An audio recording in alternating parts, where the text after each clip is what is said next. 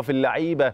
الثقة كبيرة جدا لازم تكون موجودة. مفيش داعي لأي قلق مفيش داعي لأي توتر مفيش داعي لأي تنشنة مفيش كده خالص. أنت عندك ثوابت أنت عندك آه، أصول عندك حاجات كتير جدا اكتسبتها مواقف كتيرة مريت بيها أزمات كتيرة تعرضت ليها بطولات كبيرة جدا جدا وعظيمة جدا في أصعب الظروف وأصعب المحن وأصعب الأوقات ومع ذلك بتظهر أو بيظهر المعدن المصري في الأول والمعدن الأهلاوي بيظهر إزاي تتعامل مع ده إزاي تتعامل مع زميلك ومع منافسيك ومع محبيك ومع منتقديك ومع كل الناس اللي حواليك.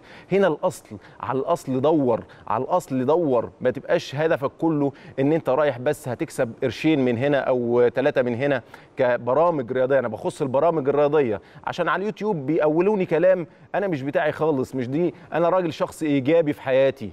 دايما امبارح بسيبه لامبارح وبكرة هو اللي بفكر فيه. عشان كده أنا بخص دايما البرامج الرياضية بخص دايما الأمور اللي إحنا فيها دلوقتي. ما تقولونيش كلام ما تقولوش سيد عبد الحفيظ كلام هو ما قالوش يعني على اليوتيوب أو على السوشيال ميديا عامة أنا مش هقول ده أنا راجل إيجابي.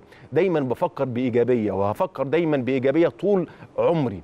عشان كده بقول لحضراتكم على الأصل دور مبدأ البطولة إن أنت تعيش اسمك ولا البطولة إنك تعيش؟ دي كانت كلمات قالها يعني الأستاذ عادل علي الحجار في تتر لمسلسل العظيم يحيى الفخراني شيخ العرب همام. يمكن أنا بستدل بشوية حاجات لكن لها معاني كبيرة جدا.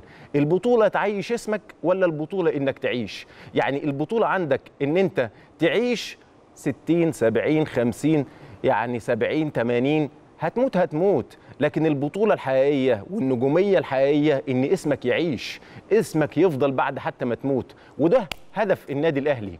ده هدف النادي الأهلي. بقول لكل منتقدين النادي الأهلي وبقول لكل منتقدين اسم النادي الأهلي أو صفات النادي الأهلي أو آه، قيم ومبادئ النادي الأهلي اللي أنتوا عايزين تبعدوا عنها لا البطولة عندنا إن الاسم يعيش.